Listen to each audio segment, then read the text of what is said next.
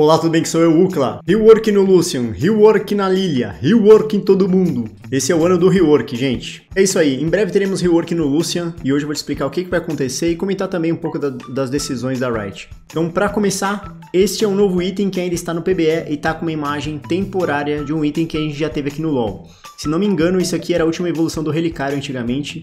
É, você conseguia dar um shield uh, num aliado, né? Acho que era assim que funcionava. Você clicava no item, clicava no aliado, ele ganhava, ganhava um escudo. Então esse item vai dar 400 de vida, 50 de MR, 10 de aceleração de habilidade e ativa ou passiva que o item vai ter, a gente ainda não sabe qual que vai ser. Isso se ele tiver alguma, né? Provavelmente ele vai ter. A corrente de anátema é um outro item que já está no PB, a gente já fez um vídeo sobre isso, confere o cartãozinho aí clicando aí em cima depois. É um item focado para lidar com composições que tem um cara que fica muito forte ou que composições que giram em torno de um campeão, como por exemplo Kog'Maw. E também serve para lidar com campeões de split push, né? Já que se você faz esse item, você consegue marcar um inimigo e esse inimigo vai te dar menos dano, vai dar até 30% de dano reduzido, que é muita coisa. E basicamente o adversário também vai tomar mais CC, já que a tenacidade dele é reduzida em 20%. E a seguir a gente tem as mudanças que a Riot anunciou, vou deixar um pouco maior aqui. É, a primeira coisa que ela fala é sobre o Força da Natureza, que chegaria pra gente no 11.13, mas por conta da enxurrada de mudança que já vai vir é, nos itens de mobilidade e outras coisas, ela decidiu postergar um pouquinho a chegada da Força da Natureza, que deve chegar então aparentemente no 11.14. E agora vamos falar sobre o Lucian, que é um caso muito engraçado, cara. O Lucian, ela diz aqui, é um power flex muito forte, muito dominante no competitivo, principalmente no mid.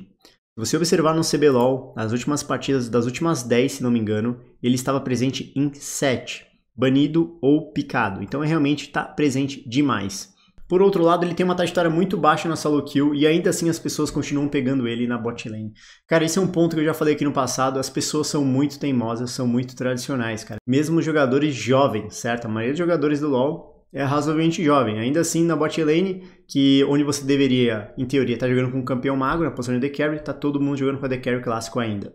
E eu acho que isso acontece por conta de dois fatores. Um deles é porque a galera simplesmente quer preencher a fantasia de jogar com um atirador, né? De você, é, em raras ocasiões, conseguir matar muita gente, né? E por isso que eles pegam esses campeões. E outro porque se você pega um campeão diferente, as pessoas têm, têm medo, têm receio de serem julgadas de uma maneira negativa pelas outras pessoas do time. O que é muito comum, né? Você pega um campeão diferente, todo mundo começa a pingar na sua cabeça ou começa a falar mal de você no chat. Então, dito isso, a estratégia da Riot Games para transformar o Lucian no AD Carry mais presente no bot e aparentemente fortalecer um pouco da presença dele na solo kill para tratar isso, a Riot planeja fazer algumas coisas. Primeiro é que ela tá com intenções de diminuir os atributos base do Lucian. Então, AD, a vida, a mana, ela vai mexer algumas dessas coisas para ele ficar um pouco mais fraco nesse sentido.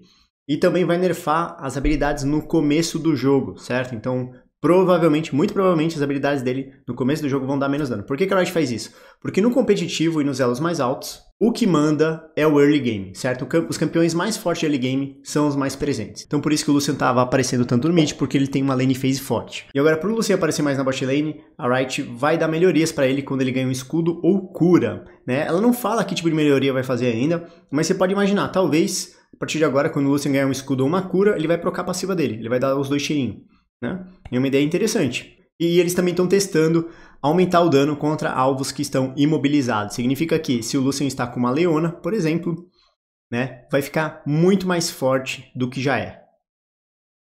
Então imagina só como não vai ficar. Então continuando as mudanças que vêm por aí, tá? Esse, esse, então esse basicamente é o rework do Lucian. Mas tem mais coisa que vem por aí. Os magos estão para serem bufados no 11.13. Então, igual a gente viu os itens de AP dos magos serão bufados. E aqui nós temos a tradução feita pelo Rafael Garra de Areia, e a gente vai dar uma atenção exclusiva aos itens dos magos por enquanto.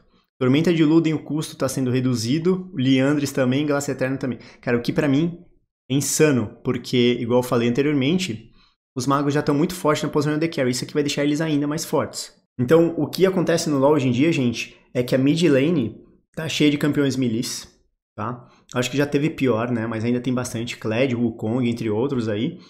E a posição de The Carry tá cheia de magos, cara. Então as posições estão meio que perdendo um pouco a identidade delas, né? E eu não sei se isso pode ser preocupante, pode ser que sim, né? Acho que estão com uma meta muito bagunçada e durante muito tempo o LoL perde a estrutura, né? E começa a ficar uma coisa meio louca onde as pessoas ficam perdidas e com isso talvez as pessoas parem de jogar. Mas não é só o Lucian que vai receber rework, a Lilia também vai. E aqui a gente tem os posts do pessoal da Riot falando sobre o rework da Lilia. Isso aqui foi trazido pela gente, pra gente, por um dos nossos viewers lá na Twitch. O link dele tá aparecendo aí na tela. Valeu, Godzão. Então, basicamente, o que, que eles querem fazer? A mesma coisa que o Lucian. Querem diminuir a presença dela, presença dela no competitivo. O que, que eles vão fazer em respeito disso, cara? Então, para chegar nesse ponto, o que, que eles estão planejando? Primeiro que eles estão pensando em trabalhar em cima da passiva da Lilia. Quando ela acerta alguém, o cara fica tomando dano overtime, e enquanto isso está acontecendo, eles querem que agora ela comece a recuperar alguma coisa. A gente não sabe se vai ser mana ou vai ser vida, provavelmente vai ser vida. Uh, para isso, eles querem aumentar um pouco o dano base e também melhorar o escalonamento com AP. Isso da passiva, tá? Em relação ao que da Lilia, ele vai dar menos move speed quando acerta alguém. Quando ela gira a parada e acertava alguém, ela ganhava um monte de move speed, era impossível pegar ela, e agora vai ser bem mais fácil, pelo menos no começo do jogo. Mas por outro lado, a Riot diz que o escalonamento com AP vai ser giga buffed, ou seja, vai ser muito, muito buffado. Então, depois de você ter um pouco de AP, você vai ganhar bem mais move speed do que você ganhava antes. E no geral, eles vão buffar o dano da Lilia, nerfar o tempo de recarga do E e nerfar o R também, tá? Então é aquela história, vamos deixar a campeã menos eficiente no começo do jogo, e aumentar o escalonamento, assim ela vai ficar um pouco mais relevante no, na solo kill e menos no competitivo. Mais abaixo eles dão mais detalhes falando que o clear speed da Lilia vai continuar forte, mas vai ficar um pouco pior, e a habilidade dela de duelar no começo do jogo vai ficar mais forte. Isso que é algo importante para os campeões do competitivo. Será que isso não vai fazer ela ficar ainda mais presente, cara? Então, aproveitando que a gente está aqui, cara, e que a gente não tinha acesso a essas mudanças, aos detalhes do patch 11.13, né? Até agora, cara, e agora a gente tem, eu vou comentar um pouquinho sobre as coisas que vêm por aí na próxima quarta-feira, sem ser essa quarta-feira agora, dia 23. Aumento de cura e resistência de escudo por acúmulo de 6% para 7%, ou seja, vão melhorar um pouquinho mais o generador de pedra lunar. A gente já sabia que ia ser bufado, não sabia quanto, né? É interessante esse aumento, é um aumento bem pequeno, acho que é o mínimo que eles poderiam aumentar, né? Eu acho justo. É, o item para alguns campeões já estava quase sendo melhor, assim, ele estava próximo do, do Shurelia, próximo do, uh, do Medalhão Solar e agora né, ele vai competir mais de perto, cara. Então, se isso aqui não for suficiente, daqui a pouco a Riot vai bufar mais um pouquinho. Né? Eu acho que não seria um exagero se ela bufasse em 2%, por exemplo, tá? É, Fantasma, que é a runa, está sendo bufada também. Duração do Poro Fantasma de 60 segundos para 90 segundos. Duração de revelação de 4 segundos para 6 segundos. Então, cara, é um belo buff nessa runa que meio que estava esquecida, ninguém estava utilizando. E o restante das mudanças a gente já tratou delas na prévia do patch 11.13, confere clicando no cartãozinho aí. Então, patch 11.13 está para chegar, o que você achou dessas mudanças no Lucian? Deixa aí nos comentários. Se gostou desse vídeo, considere deixar o seu like e se inscreva no canal. Valeu, gente, um beijo na bunda, muito obrigado e tchau. Confira o e-book Como Jogar e Carregar de AD Carry. Aprenda a escolher o seu ADC, como jogar a lane phase e os pontos mais importantes para carregar dessa posição. Ao adquirir o e-book, você leva também o Guia do Last Hit, com exercício eficiente para melhorar o seu farm, além de outras vantagens em produtos do LoL Pro. Quer conhecer essas vantagens? Clique no link e tem o conteúdo mais completo sobre League of Legends.